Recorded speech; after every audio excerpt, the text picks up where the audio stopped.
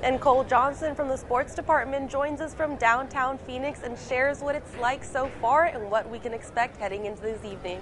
Hi, Cole. That's right, Adelmi. Incredible atmosphere here in downtown Phoenix here on this Monday, just six days away from Super Bowl 57 and the kickoff on that between the Philadelphia Eagles and the Kansas City Chiefs. Now, I'm outside the Footprint Center right now, which is usually the home of the Phoenix Suns, but tonight and for the next couple of days, it's the home of Super Bowl week, and the stars on both sides are going to be here, and we're actually going to get a chance to catch up with them here in a couple of hours, less than two hours from now. We'll get to go inside, chat with uh, star players to the likings of Jalen Hurts on the Eagles, A.J. Brown, Jason Kelce up front, Fletcher Cox, and then go to the Kansas City side, Coach Andy Reid and Patrick Mahomes, Travis Kelce, all your favorite players. Now, uh, we're just six days away, as I mentioned, from that kickoff, and, and just tonight we're going to learn more about what to expect and what their mindset is going into this week, a week of practice, but more bright lights. You can see behind me there's a whole several lines of fans here lined up to get into